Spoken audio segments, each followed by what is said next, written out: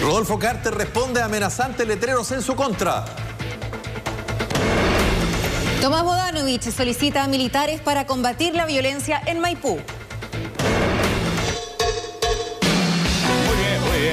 Con todo ritmo de este viernes con eh, las sensaciones que provocan las noticias de la semana, eh, algunas tratadas mayor en profundidad, otras con la distancia que permite también darse cuenta de que algo que era noticioso y fuerte un día martes eh, se diluye y otros que fueron... Y se transforma en una van cosa más... Increciendo, como dicen. Exactamente. Van escalando. Ya está en pantalla, usted lo ven, No. Felipe Vidal No. y Claudia Sala. A Claudia Lo que Felipe pide que saluden primero a la Claudia, porque yo agarrarle el aplauso, le caen a él. No, si los aplausos están Destacados, comunicadores. Gracias, Claudia. Y partimos con todo, con las frases ya.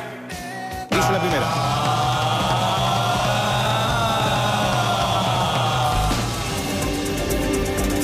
No podemos actuar con miedo. Lo dijo el alcalde de la Florida y yo diría precandidato a lo que sea, Rodolfo Carter. ¿Por qué? Porque, bueno, respondió a dos amenazantes letreros en su contra. Ojo, ¿ah?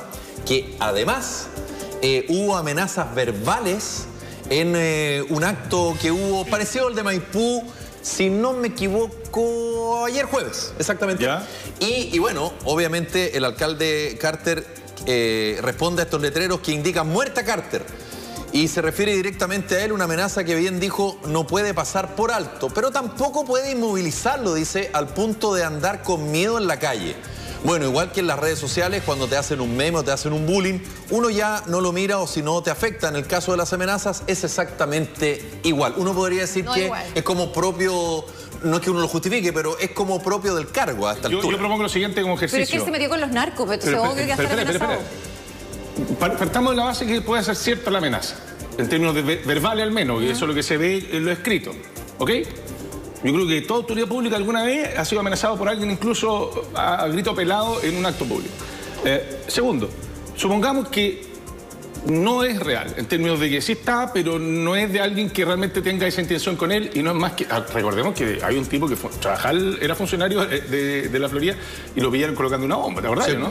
Y después no, que no, si lo estaba desactivando, no, que estaba avisando que había una bomba. Fue todo raro. Entonces, estas maniobras a veces comunicacionales en momentos muy oportunos surgen. Como deshacerse de la víctima. No hay nada mejor que victi- exacto, no hay nada mejor que victimizar Sí. slash C una autoridad. Ahora, eso.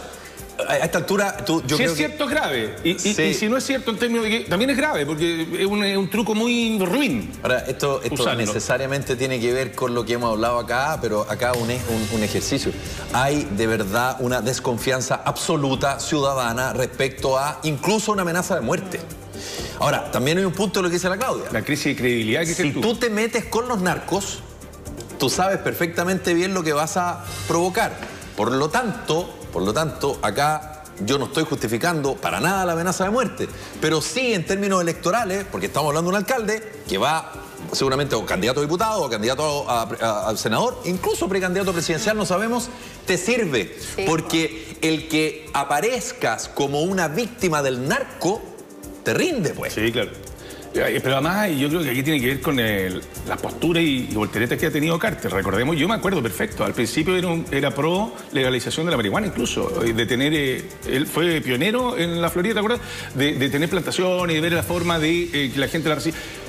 Y el tipo cachó que por ese camino perdía adeptos en su sector, en, el- en la derecha. Entonces el tipo eh, endureció su postura y se puso como zar. Ah, quiso eh, asumir como un rol más protagónico respecto a, Y él mismo contó, yendo a ver a Bukele, a ver el proceso y buscar ese camino, ¿no? Eh, y otros también han, asumido como roles de sheriff o de salvadores o de que yo, la, yo puedo poner orden acá. Yo creo que está un poco perdido. Efectivamente fue buscando temas que, eh, más que, generarle adeptos, porque algunos, le, como tú dices, le, jugaron en contra, le permitían tener un posicionamiento en los matinales. Figuración. Eso era, figuración. Y Rodolfo. Carter es un tipo que maneja muy bien, él y su equipo, muy bien lo que significa eh, la comunicación política año 2024, digamos, Sí. o, o- o- o- o más contemporáneo. Obviamente la comunicación política ha ido variando eh, como, como en todo orden de cosas. Ahora, claro, él se está situando o intentó situarse eh, más allá del sheriff, más allá del diputado eh, en cuestión, ya voy a acordar el apellido. ¿Por qué? Porque él tiene la herramienta como alcalde, tiene la facultad ejecutiva para hacer cosas. El diputado puede decir cosas, proyecto de ley, el proyecto de ley no se ve, es intangible lamentablemente. En cambio el alcalde sí, pues. ¿Por qué? Porque tiene los recursos, porque puede presionar y como tú dijiste, diste un punto clave, los matinales. Antes eran los noticiarios, ahora son los matinales. Entonces, el efecto tú estás viéndolo. A, nadie, nadie, te puede decir, la idea del alcalde es votar un mausoleo narco, la idea del alcalde es votar una casa narco tú estás viendo el efecto. y eso te rinde al final. Avancemos, le propongo. Vamos con la siguiente frase. Dice así, busca que podamos sentirnos patriotas y orgullosos de ser chilenos.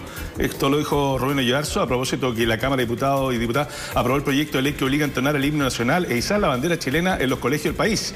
Bueno, de acuerdo señalado por la Cámara Baja, eh, las y los parlamentarios aprobaron que ambas acciones se realicen al menos un lunes al mes. Y esta iniciativa incluye establecimiento de educación básica y media del país. No obstante, estas acciones también podrían, eh, no se podrán ejecutar en un caso de que el primer lunes del mes sea 11 de septiembre. Rubén Yarzo, que es diputado, impulsó esta iniciativa y se mostró feliz que izquierda y derecha hayan aprobado. Buscamos que podamos sentirnos patriotas y orgullosos de ser chilenos. Afirmó Yarzo. Eh, este proyecto será tramitado ahora en el Senado para ver si se convierte por fin en ley. La pregunta es... Eh, ¿Puedo adelantarme? ¿Qué es ser patriota? El significado es persona que tiene amor a su patria y procura todo su bien. De acuerdo, pensando lo mismo, porque además la bandera chilena, perdón, lamentablemente, no sé si ensuciar es la palabra, pero ahora se asocia a un cierto partido político. Sí, o un sector es de, un sector político, pero quiero decir que es de extrema derecha, al menos. Yo ahora veo una bandera chilena y pienso, ah, es patriota, no es como, oh, se viene el 18. Bueno, que los símbolos nacionales también siempre son materia de discusión eh, y, de pelea, ¿no? Mm. Eh, eh, a mí me pasa que yo, nosotros que fuimos de acto cívico, en la época que a uno efectivamente ir con guante blanco, izar la bandera y todo. Y, era la raja, yo no tengo problema. Irán todos los lunes antes de entrar a la clase a las 8 de la mañana cantando el himno nacional. Y con la segunda estrofa que no la cantábamos en el colegio, pero eh, era una imposición la segunda. O algunos la cantábamos intencionalmente para que el del lado la pifiara. Pero bueno, eran tonteras. Lo que quiero apuntar yo es que no me parece mal, pero hay otras prioridades también. Y yo creo que el patriotismo se inculca de una manera distinta que solamente el amor a los símbolos Es que eso es lo que estoy diciendo. Porque, eh, de nuevo, es el simplismo. Sí es el efecto de hoy día de TikTok. Perdón, ¿y qué El simplismo. patriota significa que tú tienes que tener amor a la bandera. Perdón, patriota es mucho más que eso. Echémosle pelo a la sopa. Esto solamente es para los colegios fiscales, como porque me imagino un colegio particular anglo puede sentirse ajeno a este patriotismo y decir, sí, nosotros le cantamos a la reina. Bueno, en mi, colegio... Queen. Exacto. En mi colegio todos los lunes hacíamos el tema de las banderas, pero con la bandera chilena, la bandera de Francia y teníamos que cantar los dos himnos. Y para nosotros tampoco era como una... Para mí era como, ah, qué rico, vamos a perder un poco de clase ¿Y tú nos podrías enseñar por lo menos la primera estrofa de la tomando, tomando la petición del Cámara 1? En dueto, mira. Allons enfants de la patrie, un jour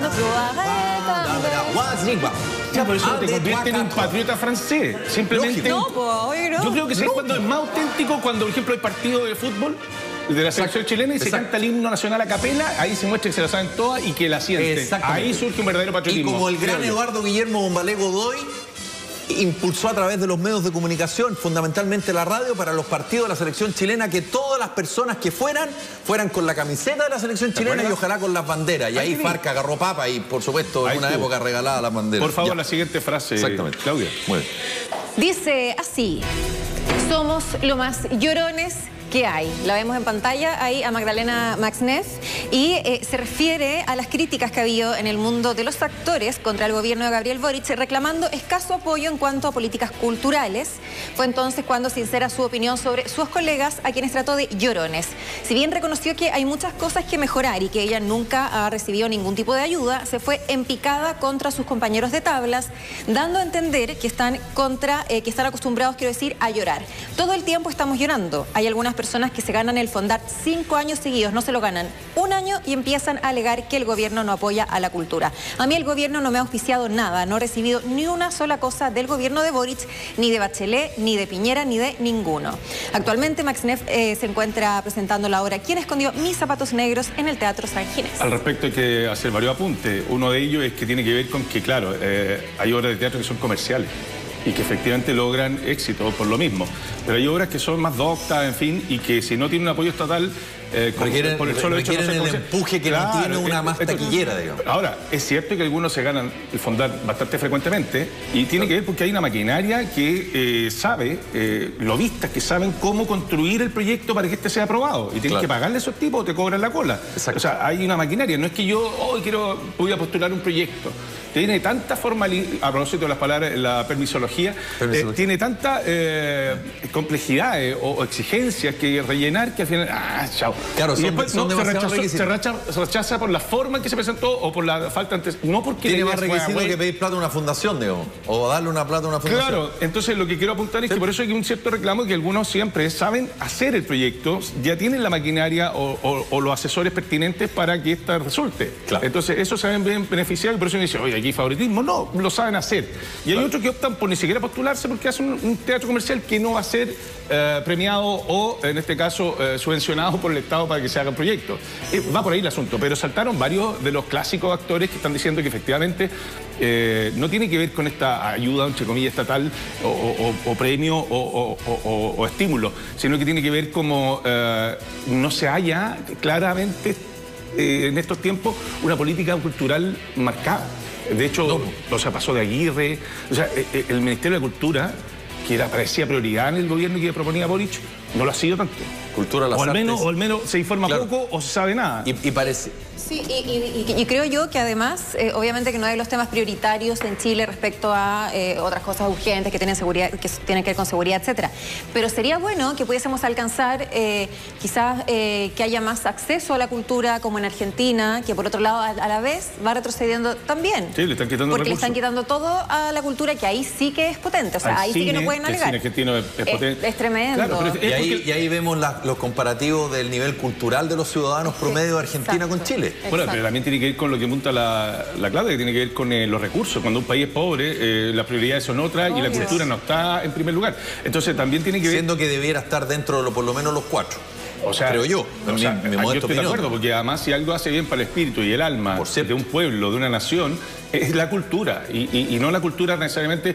O sea, ya se vio en el Festival de Viña. Con Bocelli. Al final, el punto más alto del Festival de Viña fue Bocelli. Claro. Ah, con eso, músico me- chileno y toda la, la performance que hizo. Es lo más alto en años, si es que no en toda su historia. Yo, yo te diría que es el número más grande en la historia del Festival de Por eso, y con la sintonía más alta también, con el mayor rating. la- entonces, no me engañé a decir que la cultura es solo reggaetón o, o- o la música urbana, porque Claro. definitivamente uno, un rap no marcó ni la mitad de la mitad de lo que marcó. Entonces, eh, pe- pensar que solamente la cultura popular es lo válido y lo comercial y lo sustentable eh, es un error. Yo creo que también hay un apetito de cultura y por ahí lo cuentan, lo que pasa es que no se publica. Y, es pre- y- también hay un prejuicio asociado a, eh, digamos, eh, los líderes sociales o culturales en Chile. ¿Por qué? Pues yo me recuerdo exactamente, me acordé mucho, que la crítica que se le hizo a Paulina Urrutia, viuda de Augusto Góngora, Sí. cuando fue ministra de la Cultura, le dijeron más o menos lo mismo. Sí. Y si no me equivoco, fue ministra de la Cultura de Bachelet 1. Si no me equivoco. Y ahora pasa lo mismo en un gobierno de izquierda con una ministra, como la ministra actual, actriz y también se supone cercana ideológicamente. a la izquierda. Bueno, aquí te queda demostrado que no necesariamente la cultura va asociado a un, a un lado político o ideológico. Va montado exactamente lo que dice el pollo, hay una maquinaria. Como tantas otras cosas en Chile, hay una maquinaria montada. Y hay que decirlo, hay lobby, hay influencia, Sí. hay padrinos o, o madrinas, digamos. Sí, es verdad. Existe. Les propongo que avancemos a la siguiente frase. Claudia, dale tú, por favor. Tomaba siete por día. Mira, Ah, siete. pollo ¿eh? Valdivia, no, no, perdón. Les cuento No, que es algo azul. Pero ¿Qué? no, no es ¿Qué? eso que ustedes ¿Qué? están pensando. Es una bebida cola azul.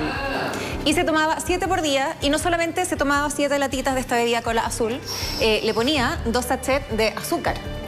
Dice, Ah. dice que esto fue en campaña, dice que por eso ahora está tan flaco, ha perdido nueve kilos el presidente argentino Javier Milei, esto lo dijo en una entrevista, eh, porque en campaña dijo que tenía tanta, tanta, tanta ansiedad que se cayó heavy al azúcar. Ahora, yo pensaría que sigue más o menos siguiendo la misma dieta porque se le ve como tan intenso y tan sobreexcitado y tan diciendo tonteras que... Pero más delgado o lo ves no, igual pero- tú? Oye, Sí, está eh, más eh, flaco. Está acelerado este gallo. No, es que comió mucho azúcar.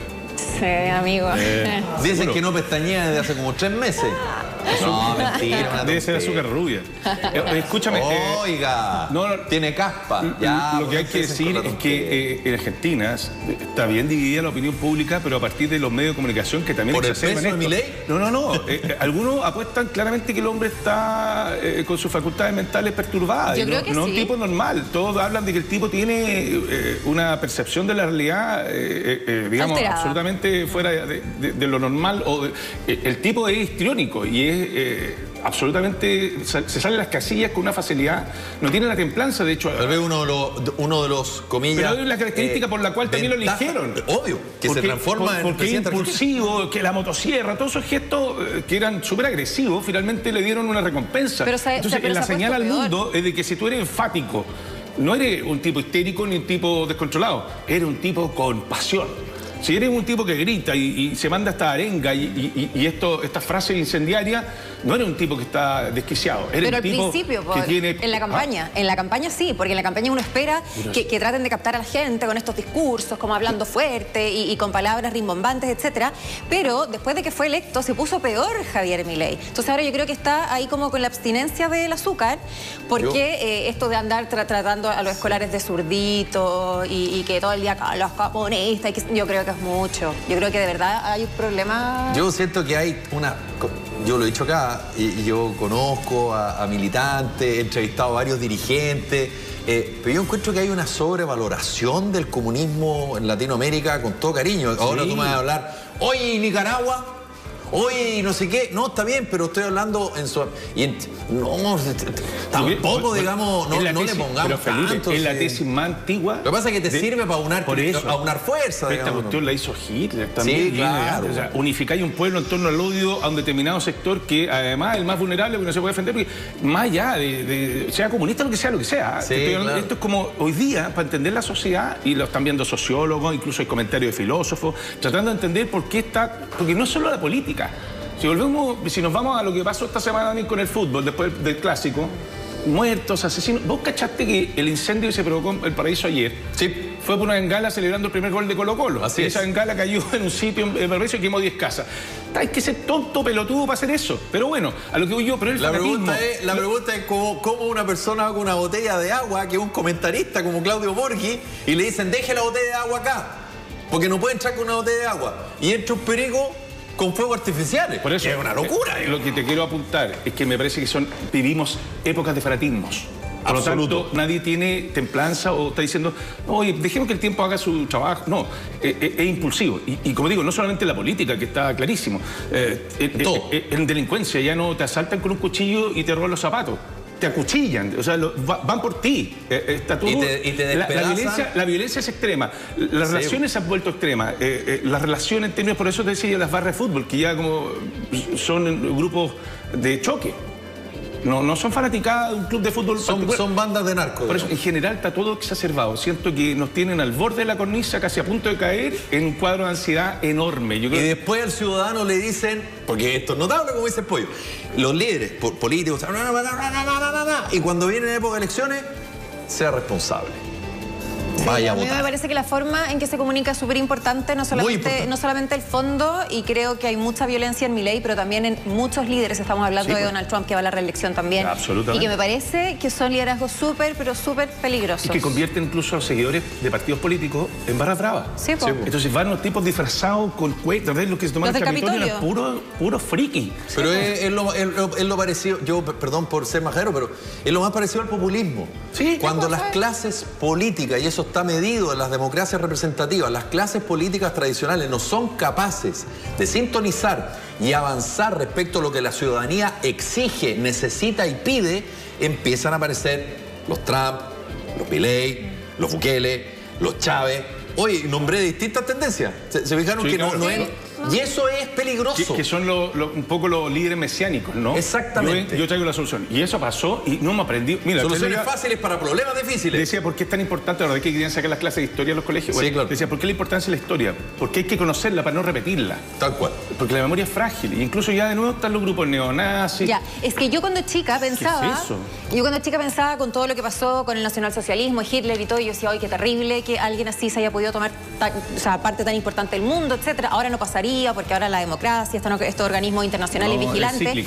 Y ahora que una es adulta y ve que la cosa se está poniendo muy parecida, porque claro, antes teníamos un par de líderes totalitarios, pero ahora, o sea, estamos rodeados. Sí, pues. Está en Argentina, está Bolsonaro que sigue, está Putin que qué sé yo, tenemos eh, el- en Brasil, Bolsonaro que está súper cuestionado de nuevo. Por eso el comienzo Eh, del o sea, siglo XXI no ha sido bueno para la democracia. Ve, ha sido Claro. horrible. No, po. y mientras más te cuestionan, como te decías tú el otro día, el teflón, El teflón. mejor te... Es más, yo creo que si la Corte Suprema no hubiese timbrado, digamos, lo que pasó con Trump, yo creo que hoy día Trump marcaría incluso más en las encuestas. Les sirve más que los ataquen o que le, le- le saquen trapitos al sol a ciertos personajes, porque eso lo, lo toman y se retroalimentan de, de nuevo, victimizarme, porque los comunistas, los no sé qué, los de derecha, me quieren perjudicar a mí y a ustedes. Oye, y ojo, que muchos de los gobiernos totalitarios partieron siendo elegidos democráticamente. Por supuesto, En pues. el camino se convierte en otra cosa. Pero y eso también en el siglo XX y en el siglo XXI está plagado de ¿Y, ejemplos. cuánto, ¿Y cuántas revoluciones para sacar a los dictadores y que se transforman así en, otro dictaduras? dictador. Claro, verdad. Pausa, ya volvemos con más talk show.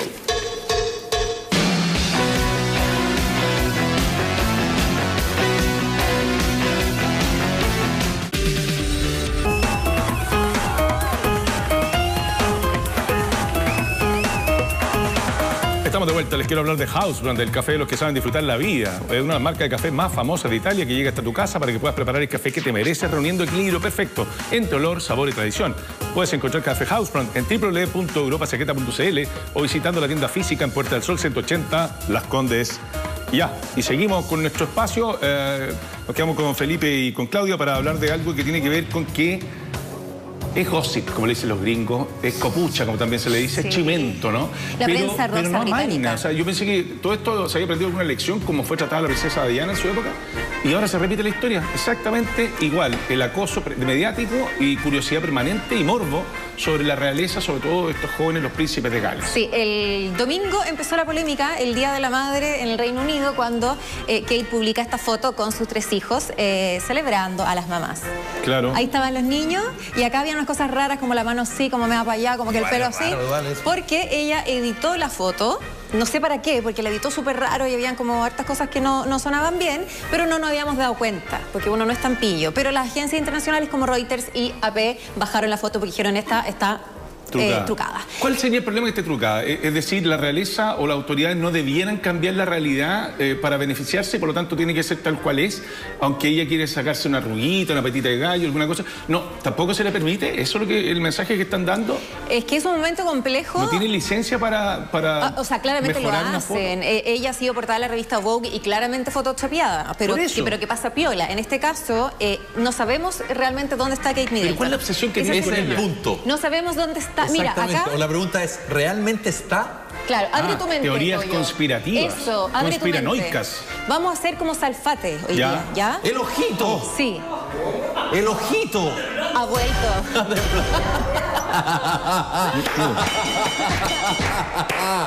¿Por qué? ¿Teoría ¿Por qué? conspirativa? Que fome Sí. tu talla de papá. Cacha que hay gente, hay gente que cree que Kate Middleton incluso está muerta y No, que ya. están preparando. Ahora- Haz- ahora te te dije que abráis tu mente, cabrito. Paul y todo eso. Y que están preparando a su reemplazante. Y de hecho, vimos, eh, eh, creo que fue el jueves o el miércoles, una imagen de Kate Middleton en un auto, que era la primera vez que se le veía después de lo de la foto. Mm. Yo decía Michael Jackson. Pero ella estaba, ahí está la foto, está. está, mirando para afuera. ¿Cachai? Y hay una frontal también, pero dicen que era la hermana Pipa. Pero espérate. esto es de aburrido. No, no es de aburridos. Esto es verdad. Porque encontraron una foto de ella en un acto, el último acto como. En cualquier minuto el oficial, duende, ¿ah? El que estuvo antes de esa. Después vienen los duendes, sí. Exactamente. Eh, y ahí dicen que esta foto es la misma que la otra, solo como que le sacaron el aro y la pusieron ahí. Entonces que está todo photoshopeado. Oye, yo Todo. he visto unas de Biden también que también dan pie para cuento, ¿eh? que se está rascando como el cuello y de repente cuando se saca el cuello le queda como la arruga ahí. Entonces como que sería una máscara de estilo de eh, Misión Imposible. Entonces usan, bueno, se sabe que eh, ciertas personas tienen dobles. Sí, Y, pues. Y usan eh, vehículos similares o gemelos para que sale uno por un lado y el otro para eh, minimizar las posibilidades de atentado. A mí Pero- Brad me llamó el otro día porque necesitaba un doble. ya, pero el tema es que aquí hay un morbo, y, porque la realeza es como, no es como te dijera, porque uno va, ve revistas y está lleno de, oh, está aquí, es un entretenimiento, Sí, es po. farándula. Pero sí hay que decir el punto de Kate Middleton. Kate Middleton cuenta con buena prensa. comparado con su cuñada, perdón, su concuñada. La concuñada. sí, la Meghan Markle. Meghan Markle. O sea, Sí, eh, pero por ahí por una- además una ella cosa de ahí. princesa de Gales. Entonces, pero va asociado a esta enfermedad, porque ella estuvo internada por un tema abdominal. Entonces ahí es cuando empiezan las especulaciones respecto a por qué se ha ausentado tanto. ¿Habrá sido una cirugía? O como dice la Claudia, habrá sido, habrá tenido alguna otra complicación. Mira. Y bueno, Esa es la portada de la revista Vogue, donde dicen que la periodista, esta periodista británica, eh, la Salfate, digamos, de allá, dice que esta cara la, la tiró como para la foto del lado, le sacó el sombrero, obviamente, todo, y que por eso el pelo queda medio cortado, etcétera. Claro. No sé, quizás sale parecida en todas las fotos. Yo también pongo la misma cara en todas las fotos. por ejemplo, tú podrías poner una cara. ¿Mi una- cara de foto? Exactamente. Vamos, Changuito. Gracias. ¿Ya? Ya, esa es mi cara en todas las Qué fotos. bueno que en esta parte siempre Changuito está despierto. Entonces, espérate, otra cosa, otra cosa. Dicen también que puede ser que Kate Middleton esté pasando por los mismos problemas que tenía la princesa Diana. Ella se les relaciona mucho, ella tiene el mismo anillo de compromiso que usaba Lady Di, este Claro. zafiro precioso con diamante, etcétera. Y eh, dicen que podría tener problemas alimenticios y además una fuerte depresión. De hecho, toda esta polémica que no sabemos dónde está Kate hizo reflotar eh, el perfil de la supuesta amante del príncipe William, Guillermo, su Sí. marido. No, ahí está. No, no me toquen a William. Ahí está. Sarah Rose Humphrey. Con Harry sí, pero con William no, No, te metas. Harry es un chucheta, pero, Y pero vos- William No, es, sí, un pan de Dios, William. Exactamente. Futuro rey. Perdón. Sí, pero el, bueno, y Carlos. ¿Y esta es la chiquilla? Carlos- esa es la chiquilla que se llama. Se le parece. Sarah Rose Humphrey, Humphrey, Humphrey. y que está casada con el marqués David Cholmondeley. Caramba, caramba. Dos para dos. Sí, ella tiene se- 39 y Lord tiene eh, 63 y están casados, pero desde el 2019 que se le vincula con William a pesar de que ella era muy amiga de Kate. ¡Oh, Ándate, desgraciada! cabrito. Y cuando la Kate cachó todo esto, dijo, la sacamos de la Ya, pero lista esto es la misma historia que Camila Notable. andando Y vueltas. esa era verdad. La historia se repite. Sí, pues. Era Y- verdad. Y, y- Era y verdad. ahí vamos sacando el no tejido, vamos, vamos, haciendo Sí, el, güey. vamos haciendo el crochet. Ahora, ahora empezaste a juntar las piezas. Pero ve, No, obvio, por eso, pues. pero la mitad son cuentos y sabéis cómo afecta a una persona que realmente, claro, te- tiene claro que y la entrenaron para resistir. Obvio. Pero en algún minuto reventáis con tanta comidilla. Y además o que sea, se que le- los paparazzi son un hinchapelote que están en todos lados y ya nos dejan vivir en paz. po. Además que enfrentó en su minuto a, a ¿cómo se llama? A Meghan Markle. Sí, pues. Eh, hay un problema entre los hermanos. Entre William Sí. y tu ídolo Harry. Entonces, y de hecho, la, la, la, la Megan, la Megan y el Harry. me gusta cuando la dice Meghan. la Megan y La el Megan, Harry. La. Me- ¿Cómo la va? yo Meghan y el. Harry. Mi amigo, mi amigos, y no, eh, tienen ah, gente en común que ya soltó a la prensa de que ellos como que miran desde lejos así como este problema en el que se metió Kate con lo de la foto, así como mira lo que te metiste, porque dicen, si yo, dice Megan, hubiese editado la foto, es que a mí no me la perdona nadie. Exactamente. Y es verdad. O como dijo esa pequeña chiquitita argentina, mirá de quién te burlaste, Barbie. Claro. sí. Avancemos, Obvio, vamos a lo siguiente, que tiene que ver con eh, una propuesta que se entregó hace una semana o menos respecto a la situación que se vive en Haití. Saltó ahí Superman Bukele, yo arreglo esto. Está diciendo. Pero dijo, pero me tienen que, se tienen que poner, eso sí, autorización, Exportación no autorización de Naciones Unidas, por un lado, que, que- que tenga el respaldo internacional para esta, tomar medidas, que le financien toda la operación y que él dice que podría arreglar este asunto. Volvemos al tema. ¿Será militarizando eh, la acción frente al narco? ¿Será eh, aumentando el, el- el encarcelamiento de los pers- Es que se supone que eso fue lo que logró Bukele, eh, básicamente encarcelar a todo el mundo eh, y dice, dice, no, dice, por ejemplo, desde Chile, Rodolfo Carter, que él estuvo ahí en El Salvador, que no se ven policía en las calles, que la gente está más feliz que nunca, que están tranquilos porque Bukele encarceló a todo el mundo, ya no hay Y- gente y, mala. con la frase de Bukele que dice, no podía, eh, dije, todos los expertos dijeron que esos grupos no podían ser derrotados porque era una parte intrínseca de nuestra sociedad. Se demostró que estaban equivocados y los aniquilamos. Esa es la frase que mandó Bukele, entonces ahí la cultura salvadoreña, la cultura haitiana, los problemas que existen en Haití no tienen nada que ver. No. O sea, es cosa de pegarle una pequeña revisada a los libros de historia, digamos, de lo que pasa en Haití con lo que pasa en El Salvador. Entonces, esto de exportación no tradicional, existe un, un- un principio básico que se llama autode- autodeterminación de los pueblos. Pero además Haití es un país con tremenda mala cueva, perdón la expresión tan castiza, pero el 2010 tuvo un terremoto que mató 200.000 personas y, y echó abajo la mitad de las casas. Entonces, Y todos los años y- los y un huracanes país ya pobre, con- Sí. ya pobre, que o lo azota un huracán o un terremoto despiadado. Y las bandas rivales, No han podido nunca no, recuperarse no. de eso. Y entonces ahí parten las, nar- las bandas que además tienen un armamento de todos lados. ¿Cachaste ahora desde República Dominicana, donde comparten la isla? La isla, claro. eh, están expulsando a haitianos que estén de forma irregular desde. eh, pero en camiones, Está- pues, pero, viejo. eh, pollo, en camiones lleno. los ponen en la frontera. Está lleno en, en todos estos eh, resort. ¿Lo dije bien? Sí, sí. Resort. Resort. Res- más británico, resort. eh, está lleno de haitianos. Y esos haitianos que trabajan en República Dominicana, no voy a decir la gran mayoría para no ser pesado, pero la gran mayoría son ilegales. Porque les pagáis menos y los explotáis más, es verdad. Claro. Oiga, eh, sí, lo que yo quiero apuntar con esto, que tiene que ver con el gran tema de hoy en todo el mundo, te insisto. Mira, de los países que tienen pocos migrantes, y yo creo que el- el- el- la- tiene que ver con el obstáculo que genera el idioma, la cultura, por ejemplo, Japón, eh, hay países que no tienen, no porque no quieren recibirlo, ¿ah? sino porque no, no llegan ahí, Claro. Eh, por una cuestión geográfica también. El idioma es muy importante. Claro, eh, entonces es difícil de llegar a entender qué está pasando. Salvo potencias como Estados Unidos. Por eso me quiero colgar de un discurso que dio hace unos días atrás y que hay que chequearlo, porque a veces la traducción tú no caché el ruso, entonces si lo están traduciendo de manera fehaciente y fidedigna, que dijo Putin. Estas son consecuencias de que tiene que ver de colo- colonialismo. O sea, África fundamentalmente colonizó Europa. Claro. Entonces, Francia, Inglaterra, hasta Alemania, Namibia. Entonces, el nivel de, de- de saqueo que tuvieron esos países no les permitieron surgir y los empobrecieron, no solamente porque no les entregaron un nivel educativo alto, sino que ahora Europa se tiene que hacer cargo de lo que generó en África y por eso es que tienen una cierta culpa cuando reciben estos inmigrantes que vienen sobre todo de, de- subsaharianos, ¿no? Entonces, y lo mismo pasa con América. España no tiene nada que alegar si le llegan colombianos, chilenos o argentinos, porque también saquearon eh, Latinoamérica un rato largo y, Portugal otro, otro tanto con, con Brasil. Y eso apunta a Putin diciendo, oye, Occidente no tiene cara alguna eh, para reclamar respecto a la inmigración si ellos fueron los que provocaron eh, estas grandes naciones Es cierto, occidentales la pobreza de tanto Latinoamérica como la de propia Lo África. que pasa es que al final dice relación con el punto de vista de donde tú estás. Y donde tú estás siempre está la influencia de Estados Unidos, el imperio norteamericano que defiende. ¿A quién defiende? ¿A quién defiende? No defiende a nadie. Estados Unidos se sacudió. Se de- defiende a sí mismo. Se sacudió de la monarquía inglesa, Inglesa. muy tempranamente. Sí, antes, claro. ¿cachai? Antes que empezara el siglo XIX. Mientras que colonias eh, africanas eran hasta el 1960, recién se empezaban a independizar. Antes de eso, los saquearon y, y hasta- y lo siguen saqueando, pero ahora con gobiernos títeres. Sí. Bueno, Haití de todas maneras se tiene que conformar esta especie de, sí, de, de asamblea o de gobierno de emergencia. Todavía no pasa nada. Había un plazo de 48 horas que ya no se cumplió. Vamos a ver qué es lo que pasa. Mientras Bukele dice que puede salvar a Haití. Por otro lado, Rodolfo Carter dice que él puede traer el modelo Bukele y que no tenemos nada que ver con lo que está pasando en Haití, independiente de la crisis de seguridad que tenemos.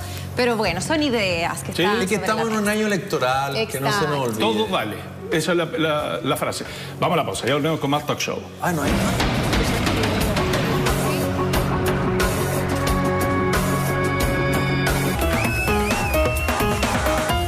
Bien, estamos de vuelta y es momento de hablarles de lo siguiente. Cuando tú practicas tu deporte favorito o simplemente alguna actividad física, en caso de golpe o lesión, Arnica Sport para seguir en acción. Es una espuma spray que calma los dolores de forma inmediata y reduce la inflamación gracias a su efecto crackling, frío-caliente. Por eso, en caso de golpe o lesión, Arnica Sport para seguir en acción. Disponible en farmacias NOP, Salco Brand, Ahumada, Club Verde y farmacias independientes. Arnica Sport, buenísimo. De verdad.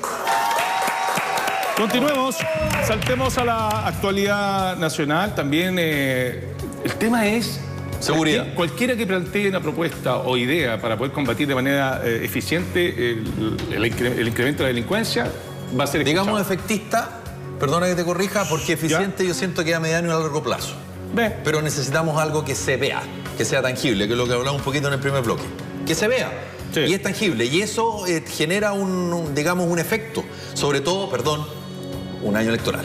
Que fue lo que pidió el alcalde de Maipú, Tomás Bodanovich, que va a la reelección de Revolución Democrática, es decir, oficialista, que hay que decirlo, no es lo mismo, parecido, pero no es igual, que él de alguna forma solicite presencia militar en las calles a que lo solicite un alcalde de oposición. Porque era un sector que antes se ponía, pero de manera tajante y definitiva al tema. Y además que te generó una discusión a nivel de gobierno, le complicó el gobierno. Eh, eh, a nivel oficialista, lo hablamos acá. Eh, Tomás Bodanovich se declara autoflagelante, critica mucho el tema de lo que pasó con Revolución Democrática y el tema de las fundaciones. Y está el otro sector que esos son los auto, digamos, autocomplacientes. A mí me pasa, Felipe y Claudia, que creo que todas ideas bienvenidas generan una discusión para entender en qué estamos, ¿ah? buscando soluciones. Pero me parece que deberían ser mucho más concretas eh, que decir, oye, yo creo que es importante que los militares salgan. Mm. No, pues, bueno, no sirve porque te dan el argumento del toque de que los tipos se salen armados, ellos no, no van a dialogar, tienen otra preparación.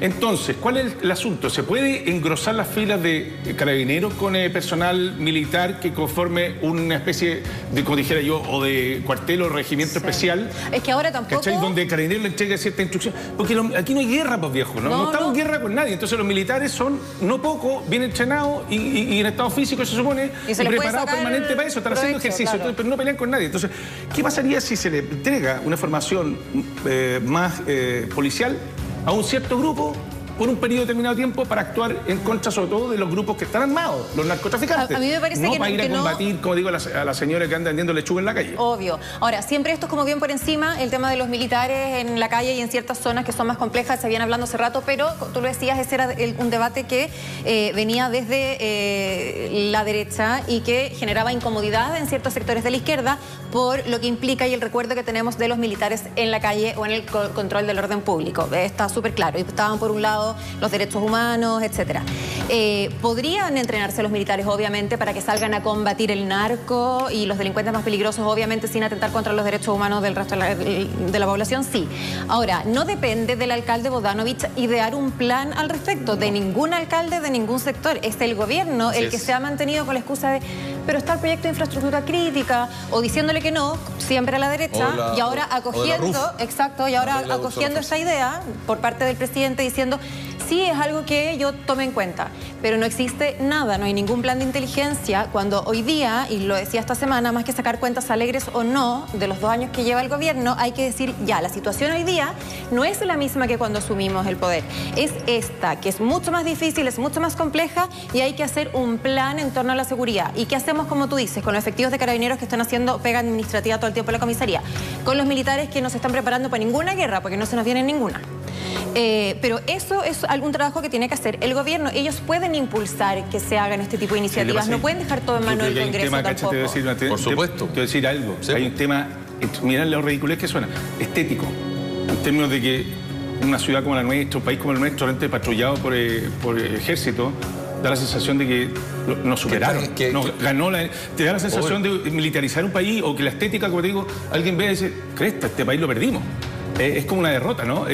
porque significa en el fondo que las policías no están dando abasto. Claro. Entonces, tu preocupación eh, primaria debe ser fortalecer a Carabinero y a la PDI para que haga eh, de la mejor manera su trabajo. Si tú estás diciendo que entren los militares, es porque estás diciendo que el Carabinero y PDI no dan abasto, uno, o, no le han entregado los recursos pertinentes para que tengan efectividad su, accionar. Entonces, es complicado porque es como la... Saquemos Yo no, no veo solución ahí, porque están, como te insisto, a menos que haya una propuesta país y, de gobierno y, que la oposición y, el oficialismo estén de acuerdo de que hay que preparar un grupo que van a ir a eso. lo que pasa? Como lo quisieron hacer en la Araucanía. ¿Hace cuánto no hablamos de robos de madera?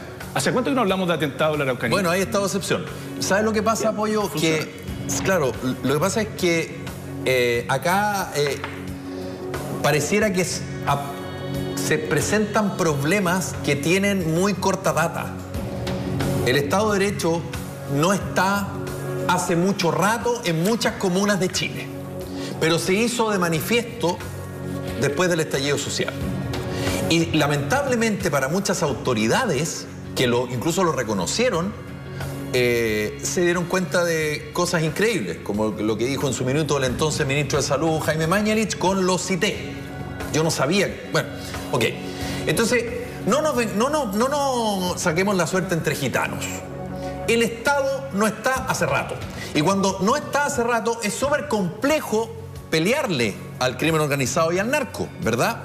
Vienes desde atrás, siendo que tú debiste haberte eh, anticipado. Eso por una parte. Lo segundo, ¿Y por qué no dicen directamente, ok, los militares, ley corta, pero no en control del orden público? Porque No, ex- existe, una- ex- no. es que existe un concepto que cuando tú propones militares en la calle, hay un sector que dice, no, porque no sé qué. No, que quede claro, orden público por ningún motivo. Exacto.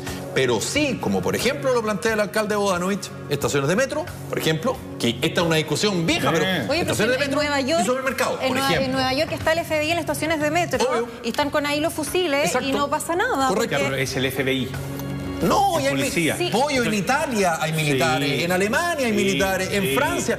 Por eso digo, sí, No hay que tener tanto pudor respecto al tema. Claro, ahora, Lo que lo la que- estética ahora, es lo que te digo que te sí- queda como diciendo, lo que ah, sí, tú no pienses, tomando mi argumento entero, tú no pienses que en un mes o en dos semanas o con una pauta o con este desalojo de esta toma en Maipú que fue el día jueves que se transmitió, digamos, larga duración en los canales, eh, tú no pienses que con eso vas a solucionar el problema. No, los problemas graves se solucionan con políticas de corto plazo, de mediano plazo y de largo Por eso plazo. te hablaba yo de un plan real, no de una voluntad, un deseo y salir jugando a través de las declaraciones. Necesitamos militares, eso no dice nada. Pero antes del plan de partida real. te van a decir que no, porque los militares ya dijeron que no, no están preparados para eso. Entonces, es una, una idea tonta. Sí. A menos que proponga algo más específico Pero los y militares, algo mucho pero los más militares claro. están subordinados al poder civil en Sí, Chile. Pero entonces, pues, claro, ¿y quién les va a prestar ropa después? Si Ah, bueno, ese es otro Nadie. tema. Entonces los militares saben que van Ese a, es otro tema. los primeros que van a salir a la palestra y les va a costar, eh, no sé, Sí. que lo- hacerlos renunciar a varios, porque no están para eso. Entonces, Pero bueno, Pollo, antes del plan real, eh, de todas maneras hay que hacer algo. Tiene que haber como una medida urgente, independiente de que sea transitoria. Un poco lo que pasó en Rosario, en Argentina, donde los mismos militares que no se querían bajar más o menos de los camiones porque decían, nosotros no estamos preparados, nosotros tenemos armamento ¿tú de guerra, no a tenemos balines. la- Es una imagen nomás. Pero ya, pero es que quizás eso, eso se necesita también. Quizás va a ser disuasivo, quizás no va a funcionar, pero tampoco lo puedes dejar así. ahí. Es que, Pollo, ¿sabes lo que pasa? Que yo siento que, de nuevo, como estamos en un año electoral, lamentablemente la clase política, cualquiera, piensa en el corto, en, los en el corto plazo y en lo que se ve, Buscando resultados. buscando resultados. Esto que estamos hablando nosotros, vuelvo a insistir, este problema estalló ahora. O se, se muestra más. Ponle de como- larga data. Pero perdón, pero perdón. O sea, hay gente que hace seis meses se enteró que cuando llegaba la merca, los narcos lanzaban fuegos artificiales. Pero pollo, eso existe hace 30 años en Chile. Y a lo mejor quedó corto. No, y antes eran carteles, ¿te acordás? entonces Eh, quieren, mexicanos entonces vez, quieren solucionar eh, un ahora- problema de larga data Sí, con unas medidas media... Sí, Entonces, esto, esto tiene que ser, como dice, yo, yo en eso estoy de acuerdo, tiene que haber un acuerdo, pero en cosas de mediano, de, de corto, mediano y largo plazo. Por ejemplo, por ejemplo, militares por ningún motivo control del orden público, pero en el resto, oye, pero si están salvaguardando eh, en la frontera, algo que en algún minuto se dijo, no, que carabineros, que para eso no sé qué. Bueno, y ahí están, po. y están cumpliendo su labor. No es, corto, sea, no de es control de orden De público. hecho, bajó harto el flujo Por por, la frontera norte. O sea, hay un- lo- los militares lo que hacen es finalmente, como digo, por Porque es imagen... un elemento disuasivo. Claro, por imagen. ¿no? Por Tipo, ya- supuesto, ah, pues. ya, no es un caballero de, de- Los tipos están preparados y se imponen por, eh, por presencia. Entonces, si yo lo que quiero apuntar Hay es que... poblaciones en Y- Chile, y- pollo, que no tienen comisaría hace 40 Sí, po. años. po. Y obvio que es chocante cuando estábamos en plena pandemia y yo le tenía que mostrar el salvoconducto todas las mañanas a los militares que estaban ahí con la cuestión al Sí. lado de la ventana del auto. Es súper intimidante y es súper fuerte la imagen. Pero de todas maneras, creo yo que si algunos, digamos, están haciendo una labor un poco más de preparación para algo que no sabemos si va a ocurrir, creo que sí se podrían destinar, no, como dices tú, a El eh, control el del control del orden público. Una manifestación en la Alameda no está No. para los- Obvio, pero sí lugares estratégicos. con tanques Sí, y todo. claro. Oye, y Obvio. los campamentos tienen pero de todo, todo obviamente Sí. no en regla, pero tienen de todo. Y no hay, y, el- y los carabineros, y es otra palabra, si, si van a salir, los carabineros no se atreven a entrar. No. ¿Cachai? Pero Entonces, si no han obvio, entrado en 25 años, ¿cómo van a entrar ahora? ¿Por qué? Porque, Menos. porque, porque ahora, uy, Por no, eso. pues. Entonces, por eso yo lo que propongo y que, necesitas un respaldo del Estado para hacerlo. parafraseando el fallecido Fra Fra, menos bla bla. Ah, claro, bueno. Y- no y- y- más bla bla. Vota Claro, por entonces eh, creo que es momento de proponer ideas concretas. y propuestas, avanzar. claro. Pollo, la, la ciudadanía Y- está y- y- aburrida si- de que la si gente la derecha hable. reclama y la izquierda reclama, pónganse de acuerdo, pero el, el- el fin último es que la ciudadanía esté tranquila, eh, en una espiral de violencia que ya la sabemos, pero que en el fondo requiere actuar de una manera distinta, no Sí. como se ha hecho siempre, y no solo pasa por ver militares patrullando las calles, no va a arreglar nada. Oye, va a tener a la ciudadanía, a los civiles más asustados y los otros gallos cagados de risa Y que van no a seguir actuando nada- bajo la sombra. No hay nada peor que legislar en caliente. Además. No hay nada peor, porque te sale peor el remedio que la enfermedad. Deberían hacer una especie de acuerdo por la paz 2.0. Eh, verdad. Exacto. Pausa, ya volvemos con más talk show. Tal cual. Listo, preparado con... eh, por precaución, lápiz, no es que vaya a saltarnos, ¿ah? no, no está en esa. Volvió la mascarilla como una medida preventiva y se agradece, ¿no? Porque vaya a saber que Bicho anda trayendo lápiz. Claro. ¿Lápiz a mina o lápiz en pasta? ¿Lápiz pasta? Listo. Ok, vamos con lo siguiente entonces, presentado por supuesto por los destacados del lunes.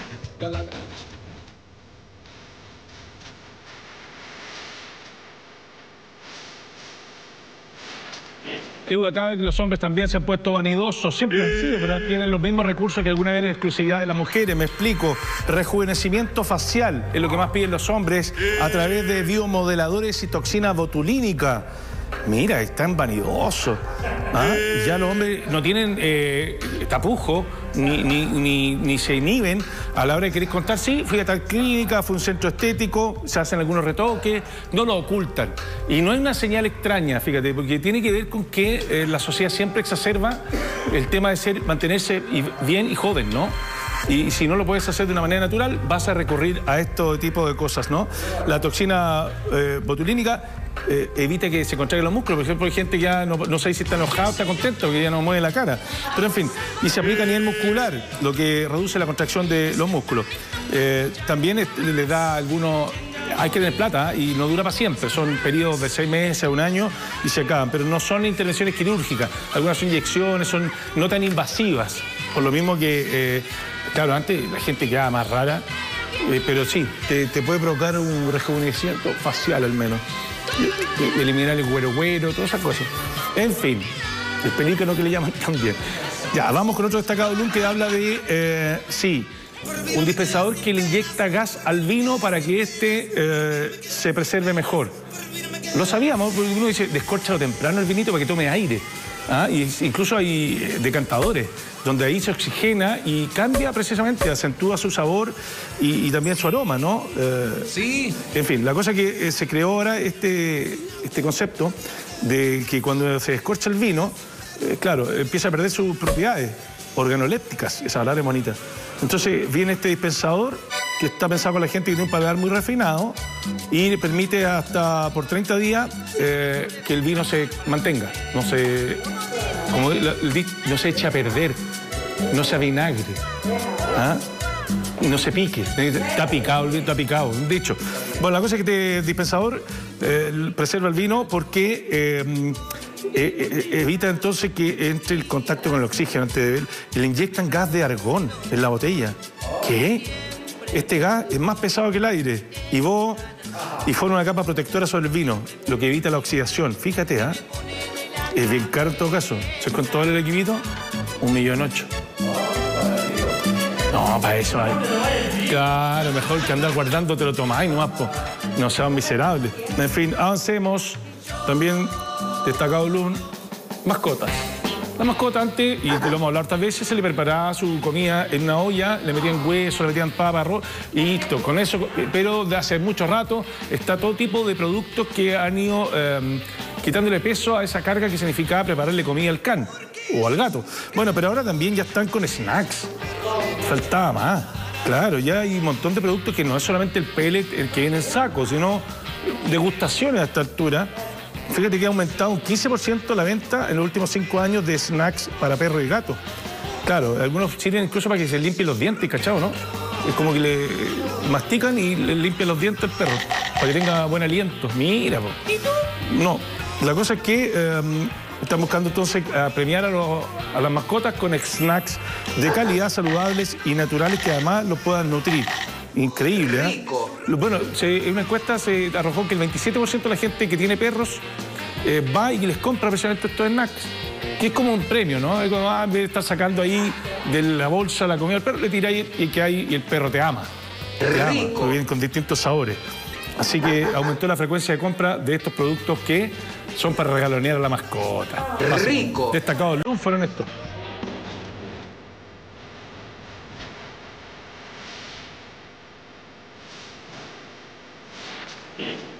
Científicos descubrieron, fíjense, la existencia de gusanos radiactivos productos de Chernobyl. Ese accidente nuclear, ¿se acuerdan o no? Que ocurrió en Ucrania y que provocó una contaminación enorme. Murió mucha gente. Que hay una zona que quedó completamente deshabitada. Hubo accidentes tratando de, colocarle un sarcófago de hormigón para que no siguiera contaminando, eh, pero tiene para rato. Entonces los expertos, fíjense que eh, descubrieron que habían eh, especies que sí resistieron la radiación. los nematodos tienen una resistencia a la radiación, no les provocó daño genético. Fíjate, ¿ah? dice que no significa que Chernobyl sea seguro significa que los nematodos son animales realmente resistentes y pueden soportar condiciones extremas, explicaron. O sea, ¿cachai? No, no es una señal de que, ah, ya está descontaminado. No, es señal de que las cucarachas también, ¿eh? Siempre dicen que resisten todo tipo de, de cataclismo o algo por el estilo. Pero deben ser así, ¿eh? ¿Cómo los cacharon? Pues brillan en la oscuridad. Vaya a saber. Lo que está pasando también en Japón, ¿te acordás? Con Fukushima, con también ahí esas aguas que están, se usan para enfriar los reactores pueden estar tremendamente contaminadas. Estas cosas nos vamos a enterar en unos años más. Fíjese que también, insólito, porque ya la jaulita para el perro, que el bolsito para el gato, ahora sacaron cómo transportar tu pez, tu mascota, tu pez, tu Nemo, tu Doris. Es una empresa japonesa que tiene un bolso contenedor muy peculiar para peces vivos. Así los dueños de las mascotas pueden llevar a pasear el pez favorito. Mira que para que con... Qué loco. Porque además es contradictorio con lo como son los, los, japos que son buenos para el sashimi y para el pescado crudo. Pero para las mascotas le hacen su bolsito para sacarlo a pasear y que conozca el barrio. Dice que además eh, eh, no, eh, no es un bolsito de plástico transparente, no, es sofisticado, fíjate. Porque monitorea la temperatura del agua, cuánto oxígeno tiene el agua para que no se te el pez, pero además es elegante, eficiente y ecológico. claro, tiene hasta un manómetro para ver, claro. Mira, eh, claro, salís con mi piraña. ¿Cómo estoy? Salís con tu piraña a, echar, la talla así. Ah, aquí tengo a Nemo, mi amigo Nemo, y salí a pasear con tu mascota. Qué loco. Muy bien, lápiz, extraordinario. Nos vamos a la pausa, a ver, vemos con más talk show. Tú tendrías una. Yo tengo una piraña. Una piraña.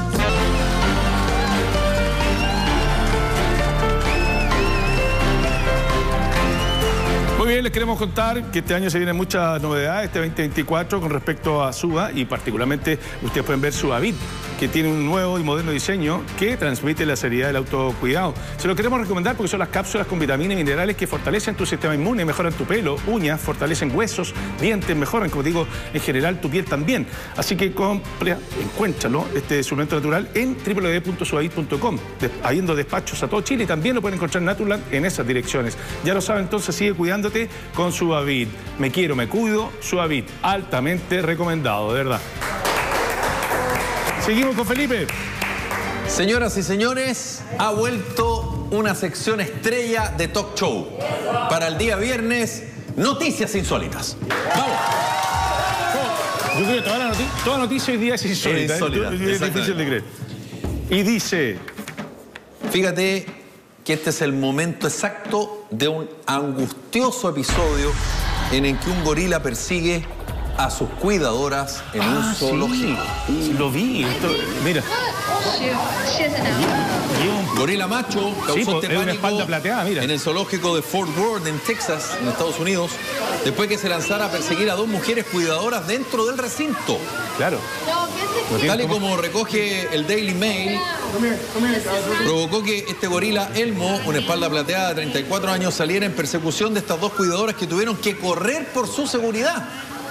La escena fue presenciada al mismo tiempo por los visitantes del zoológico que mientras grababan la escena no dejaban de exclamar expresiones de angustia como ¡Oh my God! No, pero es heavy la imagen. Pero además. Eh, Fuera de broma. Muchos de estos animales están estresados. Pero eh, están en eh, cautiverio. Claro, y por último. Por, mucho, digamos, que, se intente reproducir su medio ambiente. Y han, atacado a veces a sus cuidadores, porque son finalmente animales salvajes. Que estén en cautiverio no significa que sean domésticos. Tal cual. Y ha pasado con animales como tigre y todo. Pero hay gente también, aquí son los cuidadores, pero hay gente que antes dice, no, yo, casi por una, por, para salir en TikTok, se meten en la jaula Y se ve como un animal relativamente claro. tranquilo, lejano. Y anda a saber en qué día lo encontraron este pobre gorila, está. ¿Ah? Andaba con la mona. Uno. ¡Ah! Saludos a Lápiz. Seguimos con las noticias insólitas. Da con los monos. El matrimonio, el matrimonio más loco del mundo. ¿Por? ¿Sabes por qué? Se casaron en el baño de una estación de servicio. ¿Mm? Ahí está, ¿eh? Qué romántico. Una pareja de Ohio, conmigo, celebró su boda en un lugar insólito. El viral baño de discoteca de una estación de servicio de Kentucky. Lohan Abney y Tina Alstock, que viven en la zona de Cincinnati, ¿Qué dijo? intercambiaron votos en el baño del local. ¿Sabes cómo se llamaba el local? Hot Chops de Verona. El baño de la tienda se hizo viral en internet por un gran botón rojo que hace que se encienda una bola de discoteca y suene la música de baile, Pancho. No me pegó, Pancho. Gracias. Es que están eh, ya, pero tuvo toda la formalidad Diana. eh, en cuanto a atuendo, Todo, todo, eh, todo. eh, los asistentes. El, el argolla. Claro. Todo, todo. o sea, todo no- formal. Solo no- que fue en el baño de una Claro, estación o sea, no fue un circo, sino que No, lo que cambió fue el lugar de la ceremonia, pero, pero todo lo demás tenía la formalidad propia de un casamiento. Claro, han habido parejas que se casan en los estadios de fútbol. Sí, claro, hay gente que ha pedido matrimonio eh, de manera sumergida y casados también. Bajo el agua, es de todo. Claro, renovando los votos. Ahí está, mira. Eh, Ahí está, ¿ves? Qué bonito. Ahí, ahí se armó la fiesta, mira. Mira, ¿eh? El baño discoteca. Ahí está, ¿eh? Cada loco con su tema. Está Esto bueno, no ¿ah? molesta a nadie, ni No, daño tampoco hace. Así que por lo tanto hay que puro aplaudir y reconocer. Vamos con la otra. Fíjate que este es un viaje histórico. ¿Por? Un viaje histórico porque una, mujer- una mujer de New York City se convirtió en la primera de Estados Unidos en cruzar el mundo sola en un bote. Ah, pero esto es un velero. ¿no? Me bote. Brower, Tú Cuando dicen bote, bote a remo. De, Do- de Long Island, es que es categoría bote. De 29 años llegó esta mañana a España, convirtiéndose en la primera mujer estadounidense en navegar sola alrededor del mundo en un bote. El viaje duró más de 130 días. Hay un poquito, hay un poquito de oleaje. Como parte del Global Soul Challenge, una carrera de 26 mil millas náuticas que comenzó para ella el 29 de octubre frente a la costa de La Coruña. También fue la única mujer entre un grupo de 19 regatistas, de las cuales solo 7 permanecieron en la carrera hasta el final. Y ella quedó segunda en general, destacó el New York Post. Lo que pasa es que el solitario eh, es, complejo, es- es pues. complejo por el tema de mantener la cordura. Ahora hay radio y hay conexión, puedes hablar con tu familia. O sea, tienen de, de- el tema satelital cambió mucho. El término también del GPS. Ahí están todos, ¿ves? No tienes que entrar con una brujulita. No, Lo- el as- eh, yo creo que la tecnología permite Ah. que estos desafíos no dejan de ser algo enorme, pero tienen menos complejidades que las que podrían tenido hace 30, 40, 50 años, que ahí te tirás a fierrope, casi, Sí. así como sacando así Nadie la dirección del viento. Y, Llegó al Océano Pacífico el 29 de diciembre, luego pasó por el punto más meridional de América del Sur y regresó al Atlántico el 27 de enero. En diciembre sufrió una lesión en una costilla. Mira, y cuando fue igual. arrojada violentamente debido a una brocha que ocurre cuando un barco cambia involuntariamente de dirección hacia Claro. el viento en medio de las aguas turbulentas cerca de África. Pero en velero power, yo me imaginaba una cosa. Pero mira, mira, mira, mira, no, mira. ¡Oh! Mira, ¿eh? No le quita mérito. No, pues mira, Al ahí contrario. quedó. Casi como lo que pasó con los pasajeros de este avión. Sí, pues el que. de Latam, ahí en de, el- de que iba de Sydney, de Sydney a, a, Auckland. Heavy, ¿eh? Oh, qué heavy. Ya, la otra. Esto, lancha transparente. Estas cosas me gustan. Pero ¿dónde? La novedad, para una experiencia única que la verdad está a la patada en las redes sociales. Esto ya. Esto se hizo viral. Esto se ha visto, ¿ah? No. Claro, Una, una pasa lancha que este es más totalmente grande. transparente que permite a los turistas del archipiélago de Roques disfrutar a plenitud del paseo en el mar. Esto está hecho de acrílico, ¿ah? Claro, O de sus fibra, cristalinas, o de mira, fibra. Color turquesa. Es bonito eso, es turísticamente muy valioso porque hay gente que no, no se atreve a sumergirse, Claro. tiene dificultades para bucear. Esto permite ver el fondo marino, eh, sobre todo en aguas los transparentes. Claro, es bonito, es una buena experiencia. claro, sus corales. Convierte el fondo del bote en una especie de pecera, ¿no? Exactamente. Bueno, esta noticia insólita es dedicada especialmente a mis amigos camarógrafos. Modelo generada por inteligencia artificial será portada de revista Playboy. No me digas que no existe esa niña. No me digas que es un invento de inteligencia artificial, porque a esta altura Bueno. la inteligencia artificial está súper dotada. Llegó para quedarse pollo porque Es la broma, primera mentira. modelo generada por inteligencia artificial en la portada de Playboy. ¿Qué- qué mundo- Marca un hito ¿Qué mundo hemos construido? que desafía convenciones y reflexiona sobre la intersección entre la tecnología, la sexualidad y la ética en esta sociedad contemporánea. Playboy México, la vi por YouTube, pasará a la historia como la primera publicación de contenido erótico para adultos que tendrá una modelo creada con inteligencia artificial en su edición pollo del mes de marzo. O sea, ya, confírmame, ¿no existe esa No, señor. Es una chica de apariencia de ojos azules y con una figura escultural quien ganó rápidamente popularidad en las redes sociales, tiene miles de seguidores, muchos de los cuales son suscriptores que pagan por su material sin censura. Ese material tiene un costo mensual, atento Gabito, de entre 170 y 1.900 pesos chilenos. Para ver por supuesto, a una chiquilla que no existe. Confírmame, ¿no existe No ella? existe. No lo puedo creer. Claro, yo estoy de acuerdo porque No tiene que haber sentimiento de por medio. Si no. Quiero contarles que a partir de las 22 horas este además está utilizado para transmitir programas para mayores de 18 años y también es momento oportuno de poder compartir este mensaje. Nico, el cel. Me queda última etapa. Vamos.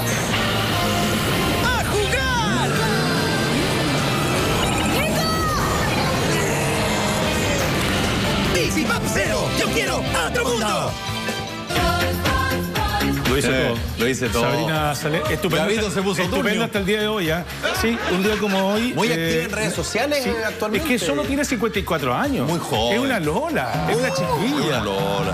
Sabrina Salerno, más conocida como eh, Sabrina, eh, cantante, actriz, modelo y productora italiana. Claro. Símbolo sexual de la década de los 90.